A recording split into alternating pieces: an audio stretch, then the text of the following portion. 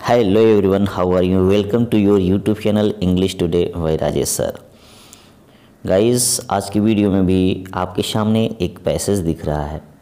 इस पैसेज को हम रीड आउट करेंगे प्रॉपरली रीड आउट करेंगे और फिर इसके नीचे दिए हुए क्वेश्चंस को सॉल्व करने का प्रयास करेंगे आंसर देने का प्रयास करेंगे। तो गौर से देखें और समझने का प्रयास करें। Ramlal had seven children three sons and four daughters ध्यान से देखें। रामलाल के पास सात बच्चे थे। हैड का प्रयोग किया गया है पास होने, अधिकार में होने के अर्थ में। पास टेंस है। रामलाल के पास सात बच्चे थे, तीन बेटे और चार बेटियाँ। Okay how many children had Ramlal तो यहाँ पर बोलेंगे, रामलाल के पास सात बच्चे थे। क्लियर तो ये यहाँ पे पहला सेंटेंस है, अभी कंप्लीट नहीं हुआ है। देखिए कॉमा लगाया है। सेंटेंस यहाँ पर कंप्लीट हो जाएगा। आगे देखिए and the youngest of them ध्यान दें, इस सुपरलेटिव डिग्री है। आप भी जानते हैं यंग यंगर यंगेस्ट तो ये सुपरलेटिव डिग्री का एडजेक्टिव है, इसलिए यहाँ पर द को दी पढ़ा जाएगा। ठीक, यहाँ पर आप इसको दी पढ़ना। And the youngest of them यहाँ देम मतलब three sons and four daughters और उनमें से, यानी तीनों बेटों और चारों बेटियों में से सबसे छोटी भोली थी। ओके? जो लड़की सबसे छोटी थी, यानी सातवें नंबर पे, उसको भोली कहते थे, उसका नाम भोली था। क्लियर? अब आगे देखिए, एक चीज़ मैंने यहाँ पर बोला, मे से। देख रहे हैं? ऑफ़ जब कहीं पर, ठीक है one of them two of them three of them all of you ऐसे अगर कहीं पर प्रयोग हो, यहाँ नाउन हो या प्रोनाउन लगभग हमेशा ही प्लूरल होता है और यहाँ पे वन टू थ्री फोर या कोई भी एडजेक्टिव आ सकता है तो समझिए इसका हिंदी अर्थ में से होता है। ऑफ़ का मतलब काके की है वैसे प्रेपोजिशन के रूप में, लेकिन यहाँ पर में से का अर्थ दे रहा है। और ये जो द है सुपरलेटिव डिग्री की पहले अगर प्रयोग किया जाता है तो इसको दी पढ़ते हैं। इसको आप समझ जाइएगा। फिर से देख लीजिए, रामलाल के पास सात बच्चे थे, या रामलाल के सात बच्चे थे, तीन बेटे और चार बेटियाँ। उनमें से सबसे छोटी भोली थी। क्लियर सबसे छोटी कौन थी? Bholi. It was a prosperous farmers household it it मतलब यह वाज मीन्स था। अ प्रॉस्परस मीन्स एक संपन्न अ फार्मर्स मीन्स किसान का हाउस होल्ड मतलब गृहस्थी। ध्यान दें, यह एक संपन्न किसान की गृहस्थी थी। ध्यान दीजिएगा, वाज में था थे, थी होता है तो यह चूँकि सिंगुलर है, इसलिए यहाँ पर थी बोलेंगे, गृहस्थी की बात आ रही है। वैसे हाउस मीन्स होता है घर, लेकिन हाउस होल्ड मीन्स घरेलू गृहस्थी, घर से संबंधित जितनी भी चीज़ें हैं, घर द्वार, उसको हम गृहस्थी बोलते हैं। तो इट यहाँ पर इसी के लिए लगा है, ठीक है? It was a prosperous farmers household यह एक संपन्न किसान की गृहस्थी थी। तो इस प्रकार से यहाँ पर रामलाल का घर चल रहा था। यानी कहने का मतलब खाने पीने की कोई कमी नहीं थी, सब कुछ अच्छा ही था। देखिए, कितना बढ़िया लिखा है। ये भी पास टेंस में है। कोई एक्शन नहीं हो रहा है। स्टेट बताया जा रहा है कि स्टेट मतलब अवस्था, दशा को कंडीशन बताया जा रहा है कि जो उनका घर द्वार था, यानी उनका जो भी काम था अच्छा था, कुल मिला जुला के प्रॉस्परस प्रॉस्पेरिटी वहाँ पे थी और जो प्रॉस्परस फार्मर के रूप में जाने जाते थे Ramlal ji. And there was plenty to eat and drink and there was और खाने पीने के लिए खूब था, ध्यान दे प्लेंटी का मतलब होता है पर्याप्त या खूब। टू ईट मीन्स खाने के लिए एंड ड्रिंक मीन्स पीने के लिए। और खाने पीने के लिए खूब था। कहने का मतलब किसी चीज़ की कमी नहीं थी। घर में सब कुछ था। घर भरा पड़ा था। यानी किसी प्रकार का कोई अभाव नहीं था। तो and there was plenty to eat and drink. There means वहाँ भी होता है। यहाँ पर यह इंट्रोडक्शरी देर के रूप में यूज़ किया गया है। इसका यहाँ हिंदी नहीं भी बोल सकते हो। तो इसका बोलोगे खाने और पीने के लिए पर्याप्त था, खूब था। यानी जो भी खाद्य पदार्थ था, पेय पदार्थ हैं, वह पर्याप्त थे खाने पीने के। सामान्य सी बात के लिए कहते हैं ना, खाने पीने के लिए खूब है, किसी चीज़ की भगवान ने कोई कमी नहीं दी है। तो ऐसे बोलते हैं तो वहाँ पर इस सेंटेंस को आप बोल सकते हो। ऑल द चिल्ड्रेन एक्सेप्ट भोली वर हेल्दी एंड स्ट्रांग कह रहा है कि एक्सेप्ट में सिवाय या छोड़कर या अलावा भोली को छोड़कर सारे बच्चे स्वस्थ और हष्टपुष्ट थे। स्ट्रांग में ताकतवर, बलवान हष्ट पुष्ट और हेल्दी मतलब स्वस्थ। सारे बच्चे यानी भोली को छोड़कर पहले बोलेंगे, भोली को छोड़कर सारे बच्चे या सभी बच्चे स्वस्थ और हष्टपुष्ट थे। कहने का मतलब सात बच्चों में से यानी तीन लड़के थे और चार लड़कियाँ, उनमें से छः लोग, यानी तीन लड़कियाँ और तीन लड़के काफ़ी अच्छे थे मतलब हष्ट पुष्ट थे, स्वस्थ भी थे। लेकिन जो सातवें नंबर की सबसे छोटी लड़की थी, जिसका नाम भोली था, वह ऐसी नहीं थी। अर्थात वह अस्वस्थ भी थी और वह उसका जो शारीरिक, ठीक है, स्ट्रेंथ थी वह भी कम थी। आगे देखिए बता रहा है। The sons had been sent to the city to study in schools and later in colleges बच्चों को स्कूल और महाविद्यालयों में पढ़ाई करने के लिए शहर को भेज दिया गया था। देखें, बच्चों को स्कूल, यानी स्कूलों और बाद में महाविद्यालयों में पढ़ने के लिए, पढ़ाई करने के लिए शहर भेज दिया गया था। अर्थात यह पैसिव वॉइस का सेंटेंस है। ध्यान दें the sons had been sent बच्चों को भेज दिया गया था, यानी लड़कों को भेज दिया गया था। ये पैसिव वॉइस का सेंटेंस है। भेजा जा चुका था, भी बोल सकते हैं। कहाँ? टू द सिटी मीन्स शहर टू स्टडी अध्ययन करने के लिए। इन स्कूल्स स्कूलों में एंड लेटर इन कॉलेजेस और महाविद्यालयों में।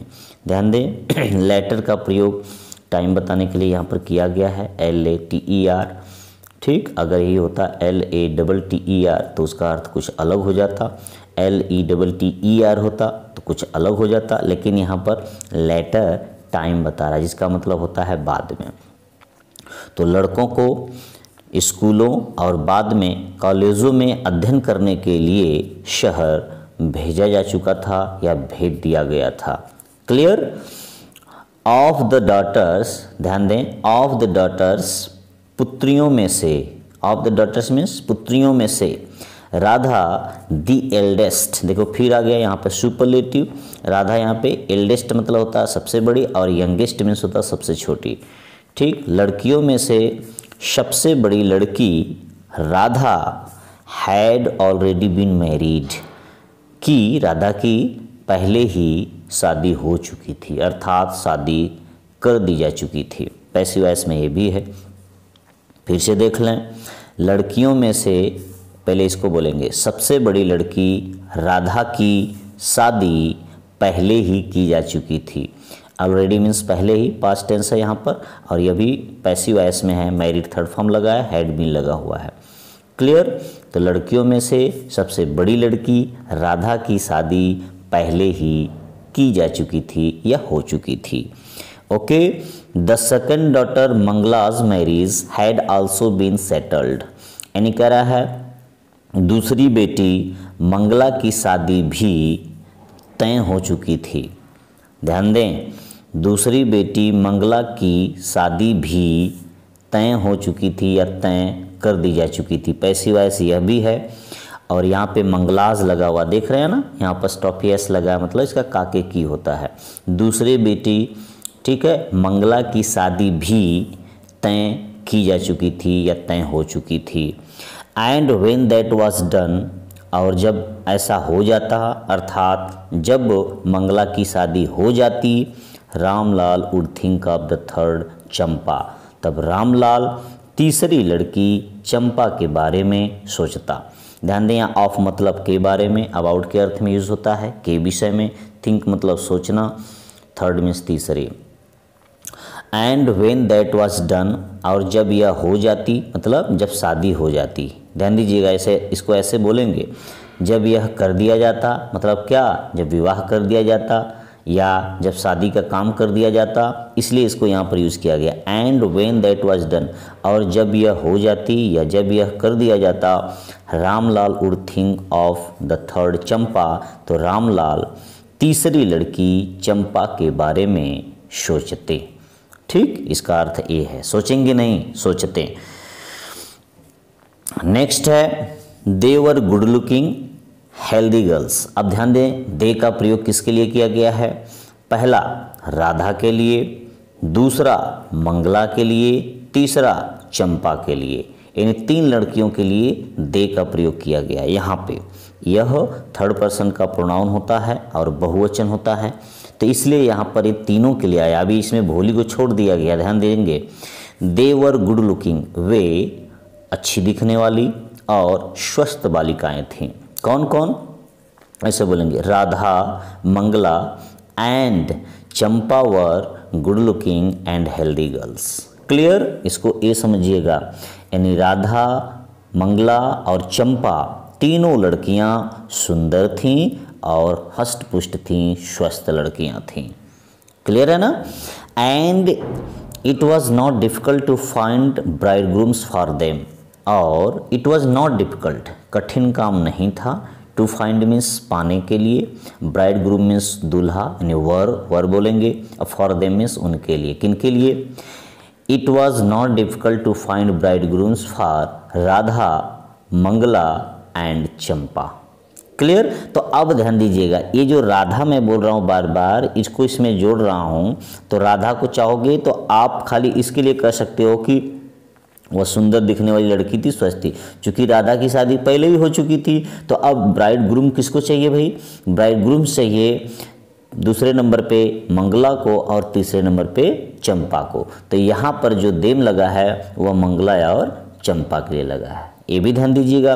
और ये जो दे लगा है तो आप मंगला और चंपा और राधा तीनों को जोड़ सकते हैं इस मामले में, क्योंकि राधा भी सुंदर थी, मंगला भी सुंदर थी और चंपा भी सुंदर थी। तो दे का प्रयोग तीनों के लिए हो सकता है। ठीक है, अगर इसको आप छोड़ेंगे, क्योंकि इसकी शादी हो चुकी थी, चूँकि इनकी हष्टपुष्ट शारीरिक, ठीक है ना, ताकत, शारीरिक स्ट्रेंथ और सुंदरता को बताया रहा, इसलिए दे का प्रयोग तीनों के लिए हो सकता है। लेकिन ये देम जो है ब्राइडग्रूम्स की जब बात आ रही है, वर चाहिए तो वर किसको किसको चाहिए? मंगला और चंपा को, क्योंकि Radha had already been married Radha पहले से ही शादी राधा की हो चुकी है। तो यहाँ पे देखिए and it was not difficult to find bride grooms for Mangala and Champa. और कह रहा है कि मंगला और चंपा के लिए वर ढूंढना कठिन काम नहीं था। ध्यान से देख लें। But Ramlal was worried about Bholi देखिए, आगे ना बात। लेकिन रामलाल भोली के बारे में चिंतित थे। ठीक है ना? लेकिन रामलाल भोली के बारे में चिंतित थे दो लोगों की कोई दिक्कत नहीं है। इनकी हो गई है सबसे बड़ी की, दूसरे नंबर की फिक्स हो गई है, तीसरे नंबर की भी होगी अगर इसकी शादी हो जाएगी मंगला की तो इनकी कोई दोनों की दिक्कत नहीं थी, क्योंकि ये सुंदर भी थी और हष्टपुष्ट थी, हेल्दी थी, लेकिन दिक्कत किसकी थी?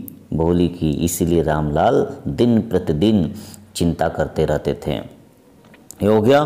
She had neither good looks nor intelligence she मतलब Bholi. Bholi had neither good looks nor intelligence Bholi के पास न तो अच्छा रूप था, रंग रूप और न ही बुद्धिमानी। ठीक है? भोली के पास न तो अच्छा रंग रूप था और न ही बुद्धिमानी। कहने का मतलब ये हो गया, Bholi was neither good looking nor intelligent ऐसे भी आप बोल सकते हैं। Bholi was neither good looking nor intelligent यहाँ पर एडजेक्टिव बनाना पड़ेगा। यानी भोली न तो रंग रूप में सुंदर थी, अच्छी थी, और न ही बुद्धिमान थी। कहने का मतलब वह भोली थी। नाम ही इसीलिए उसका पड़ा है भोली, जिसका मतलब होता है इनोसेंट ओके? तो ये आपका जो सेंटेंस देख रहे हैं। सब सिंपल सेंटेंस में अक्सर देख रहे हैं आप। असर्टिव सेंटेंस का है पास्ट टेंस में सब लिखा गया है। ध्यान से पढ़ेंगे, सारे जो है प्रश्नों का उत्तर इसी में मिल जाएगा। यहाँ क्वेश्चन दिया हुआ है क्वेश्चन को देख लेते हैं। How were the other girls of Ramlal Ramlal की अन्य लड़कियाँ कैसी थीं? रामलाल की अन्य लड़कियाँ, यानी दूसरी लड़कियाँ कैसी थीं। तो देखिए, आपके पैसेज में ही लिखा है।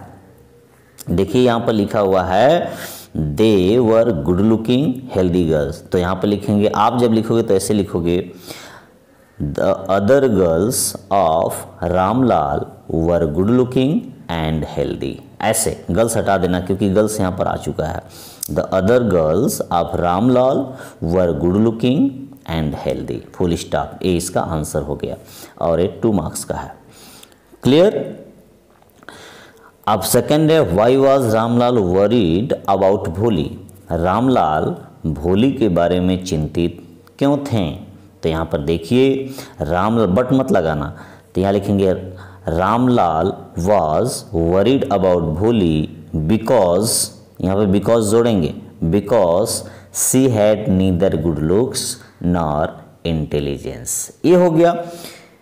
अब सबसे अगर इसको और जोड़ना चाहते हो, Ramlal was worried about Bholi because of her यहाँ पे जोड़े, देखिए, अलग तरीके से मैं बता रहा हूँ। Because of her bad looks and innocence फिर से देखें, Ramlal was worried about Bholi because of her bad looks and innocence. Ramlal उसके, ठीक है, उसके मतलब भोली के, चूँकि भोली आ गया। उसके बुरे रंग रूप यानी भद्दे रंग रूप और भोलेपन पर, भोलेपन के कारण चिंतित थे एंड जोड़ना चाहते हो and the main concern of Ramlal, ठीक है ना? जो रामलाल का मुख्य चिंता थी, वह क्या थी?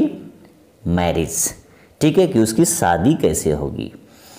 ठीक, Ramlal was worried worried about Bholi because of her bad looks and innocence ऐसे भी ठीक है, ऐसे भी लिख सकते हैं। Ramlal was worried about Bholi because she had देखो आगे ना she had neither good looks nor intelligence ये कर देंगे। तो मेन मैटर उसमें शादी की आ रही थी। शादी की यानी मैरिज की बात आ रही थी, इसलिए रामलाल चिंतित थे। ये तो ठीक ही हैं गुड लुक्स और इंटेलिजेंस दे दिया कि ऐसा नहीं है तो उसके बारे में चिंतित थे। लेकिन चिंता का मुख्य कारण क्या था? वह है मैरिज कि उसकी शादी कैसी होगी। Ramlal was worried about the worried about Bholi because of her bad looks and innocence ऐसे भी बोल सकते हैं। And the main concern of Ramlal was Bholi's marriage ठीक है? ये बोलेंगे। The main concern of Ramlal या ऐसे भी बोल सकते हैं the main worry of Ramlal about Bholi was her marriage यानी रामलाल की जो मुख्य चिंता थी भोली के लिए, वह थी उसकी शादी। तब इसको सेंटेंस को इसी में जोड़ देंगे। तो इस तरह से आप अगर पैसेज पढ़ते हैं बार बार आपको पढ़ने की दिक्कत नहीं सहनी पड़ेगी। बस आप सेंटेंस को पढ़ते जाएँ और क्लियर होते जाएँ कि इसमें कहा क्या जा रहा है। अगर हम इसमें देखें तो आपको यही समझ में आया कि रामलाल के सात बच्चे थे, जिनमें से तीन बेटे थे और चार बेटियाँ थीं। सबसे छोटी बेटी का नाम भोली था, सबसे बड़ी बेटी का नाम राधा, दूसरे नंबर वाली का मंगला और तीसरी नंबर का चंपा। रामलाल काफ़ी धनवान व्यक्ति थे, एक किसान थे, खाने पीने की कमी नहीं थी, उनका भरा पड़ा परिवार था।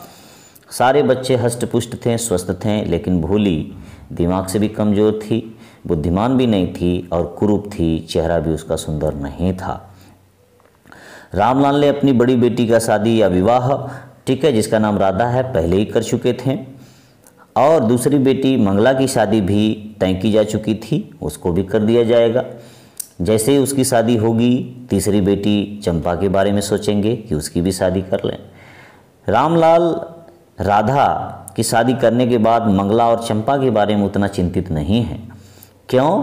क्योंकि वह जानते हैं। देखिए, मैं थोड़ा प्रेजेंट में बता रहा हूँ। यहाँ प्रेजेंट में थोड़ा सा कहानी आपके सामने लाने के लिए। वह जानते हैं कि ये दोनों बालिकाएँ जो हैं, लड़कियाँ चेहरे में सुंदर हैं और हष्टपुष्ट भी हैं। इनको किसी भी प्रकार से वर ढूँढने में कोई दिक्कत नहीं होगी। ब्राइड ग्रूम्स आसानी से मिल जाएँगे और इनकी शादी बड़े धूमधाम से कर दी जाएगी। लेकिन रामलाल का जो मुख्य चिंता थी शादी को लेकर के, वह थी भोली की शादी। ठीक है, भोली की शादी के बारे में जब सोचते थे तो वह चिंतित हो उठते थे, क्योंकि भोली न तो सुंदर थी, न ही बहुत ही समझदार थी, न ही उसकी बुद्धि थी। ठीक है, न ही वह ताकतवर थी हष्टपुष्ट थी, यानी कुल मिला ज़िले के कुरूप थी, उसको, उसके लिए वर ढूंढना काफ़ी मुश्किल काम था, इसलिए रामलाल काफ़ी चिंतित रहते थे। तो इस प्रकार से आप अगर पढ़ते हैं तो ये जो फोर मार्क्स हैं आपके, वो आपको मिल जाएँगे। ठीक? तो क्लास टेंथ के स्टूडेंट के लिए काफ़ी इंपॉर्टेंट है, इसको हल करना सीखें, और बोर्ड में पूरे अंक पाएँ दैट्स ऑल